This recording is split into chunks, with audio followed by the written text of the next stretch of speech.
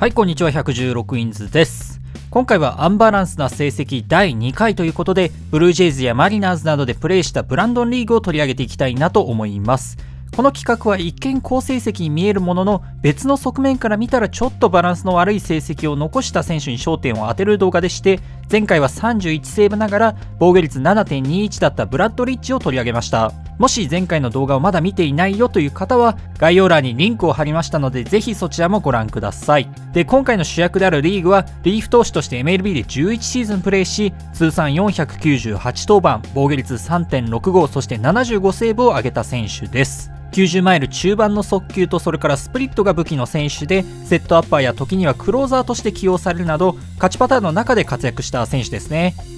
で今回お話ししたいのはリーグがマリナーズに在籍していた2011年シーズンのことです。2009年のオフにマリナーズへトレードされ2010年は主にチームのセットアッパーとして70試合に登板し防御率3.42と役割を果たしたリーグですがマリナーズ2年目となった2011年はチームのクローザーに就任しました。すると65試合で37セーブ、防御率2.79と、クローザーとして大活躍しまして、この年彼のキャリアで初にして唯一のオールスターにも選出。非常に充実したシーズンを送った年となりました。こうして見るとクローザーとして文句なしのシーズンを送ったように見えますし、一体どのあたりがアンバランスな成績なのかと疑問に思われるかもしれません。確かにシーズン全体で見れば好成績なのですが、実はこのリーグ、オールスターに選出されるまでの前半戦で本当にオールスターに選ばれるようなクローザーなのかと疑問に思ってしまうほどの大炎上を経験しています。オールスター出場選手としてはシーズン中に異例すぎるアップダウンを経験したあたりがなかなかアンバランスだなと思っていますので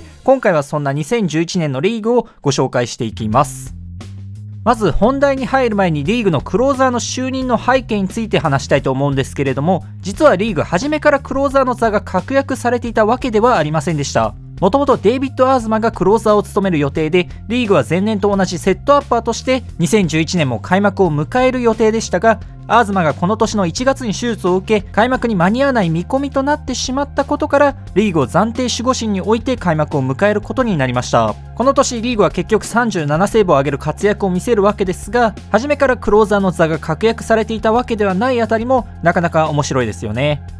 ただそんな暫定守護神という扱いではありましたがリーグは開幕から安定したパフォーマンスを見せました。開幕から5月5日までに14試合に登板して失敗は一度もなしの9セーブ。そして防御率は2.08を記録。被打率1割8分 OPS で見ても4割4分9厘と相手バッターをかなり抑え込みました。直近2年間チームの守護神を務めたアーズマの離脱は痛かったもののリーグがその穴埋めあるいはそれ以上の活躍を見せてくれていましたのでとりあえずはチームとしてもほっとしたのではないかなと思っていますアーズマの復帰の目処もこの時は立っていませんでしたので、このままリーグがクローザーとして定着してくれるといいんだけどなぁなんて風にも個人的には思っていましたね。そう、この時まではそんな風に思いました。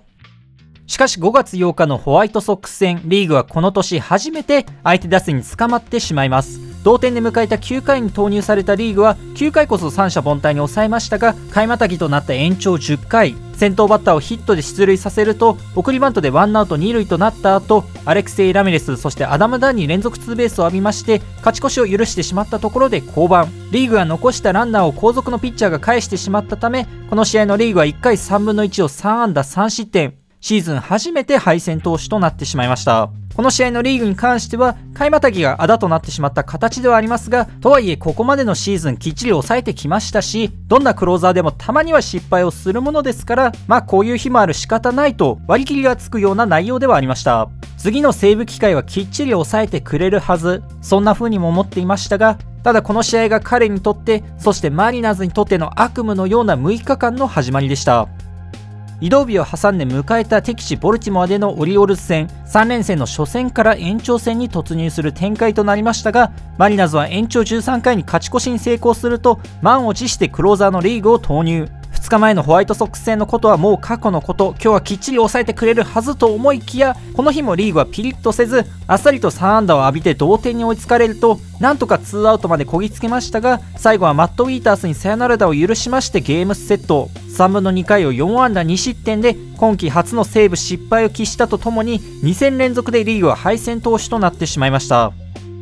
そして悪夢はまだまだ終わりません。2日後のオリオールズとの3連戦最終戦も再び延長戦に突入しまして、そして再びマリナーズは延長12回に勝ち越しまして、今度こそ勝ち試合を守りきってくれることを信じてリーグを投入しました。さすがにそろそろ本調子を取り戻すはずと信じたのもつかの間、ヒット、デッドボール、デッドボールで、あっという間にノーアウト満塁のピンチを作りまして、マリナーズファンの寿命を一気に縮めました。続くバッターのヒット性のライナーをショートのルイス・ロドリゲスが超ファインプレーでアウトにし、なんとか希望をつなぎましたが、まあ、それも虚しく最後は JJ ハーディに逆転サヨナラタイムリーを浴びて試合終了。3分の1回2安打2失点2四球の大荒れの内容で2登板連続のセーブ失敗そして5日間でリーグは3敗目となってしまいましたこの当時の私はまあ大体高校生ぐらいでしたけれども、このリーグの連続のセーブ失敗でだいぶメンタルも削られまして、本当にリーグはこのままクローザーで大丈夫かなとちょっと不安に覚えた記憶もありますね。そんなあまりに悲惨な内容となったオリオールズとの連戦もようやく終わりましたが、悪夢は残念ながらまだ明けません。リーグの大炎上を待って5連敗で迎えたインディアンスとのカードですが、この試合はダグ・フィスターが8回2失点の好投を見せまして、苦しいチームを救う投球を披露。マリナーズも2点のリードを保ち、最終回、本当に今度こそという思いでリーグにマウンドを託します。2登板連続のセーブ失敗、そして5日間で3敗も喫した中でのマウンド。彼としても汚名返上といきたいところでしたが、いきなり連続ツーベースを浴びまして1点差に詰め寄られてしまいます。ただなんとか2アウトまでこぎつけ今日こそ連敗ストップそしてリーグに久々のセーブをと思いましたがその思いを全て打ち砕くトラビス・ハフナーの打球は無情にもスタンドに叩き込まれマリナーズはまたも逆転サヨナラ負け。3分の2回を3安打3失点したリーグは3登板連続でセーブ失敗。そして6日間でなんと4敗目という信じがたいペースで黒星を積み上げてしまいました。この6日間でのリーグの成績がこちらの通りとなるんですが、4登板で成功ゼロの3セーブ失敗、3回を投げて10失点、防御率は驚異の30.00、被打率はなんと6割という、それは本当に野球で見る確率なのかと疑ってしまうような打たれっぷりでした。何もかもがうまくいかず、この直前まで2.08だった彼の防御率は一気に7.31まで膨れ上がりまして、オールスターどころかクローザーの雑すら危うい状態となってしまいます。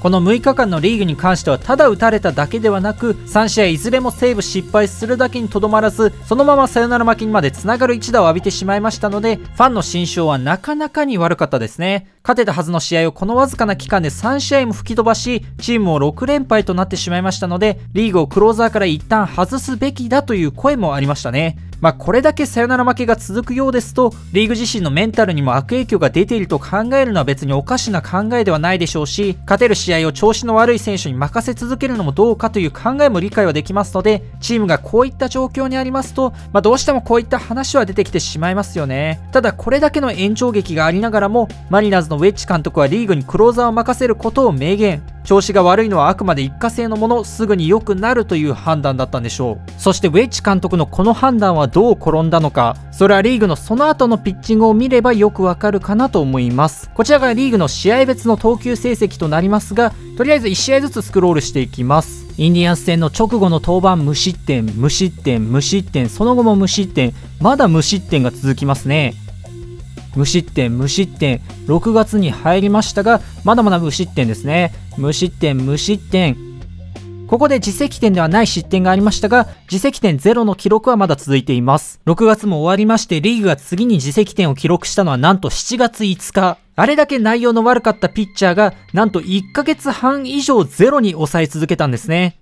悪夢の6日間が終わった直後の登板からリーグが次に自責点を記録した。7月5日の1つ前の登板までリーグは20試合に登板し失敗なしの14セーブ。防御率はもちろん0.00であの6日間では被打率6割という信じがたい水準を記録していた彼もこの20試合では被打率1割5分2厘と本来の調子を取り戻しました。この復活劇を支えたのは彼の速球が蘇ったというところが大きいのかなと思っています。悪夢の6日間では速球の割合が75%以上を超え非常に速球一辺倒の投球となっていたことがわかりますが、その球種が得点の増減にどれだけ寄与したかを示すピッチバリューはマイナス5.9ととにかくこの速球が打ち込まれてしまったことがよくわかります。しかし悪夢の6日間を乗り越えた後の彼は速球の割合が6割程度に下がりまして、スプリットの割合を多少増やした結果か、速球のピッチバリューは一転して5.4と速球が機能するようになりました。悪夢の6日間ではとにかくランナーを多く出していたこともあり、またサヨナラのかかった場面ということでなかなか落ちる球、スプリットを使いづらいという思いがあり、まあ、それが速球一辺倒になってしまったという部分ももしかしたらあるのかもしれませんが、投球の軸となるボールが機能するかしないかでこれだけピッチャーは変わるんですね。またリーグについては特にシーズン序盤登板数がかなり多く、5月13日時点で18登板を記録していまして、これは AL3 位タイの登板数だったので、まあ、疲労が溜まっていたという側面もあるのかもしれませんね。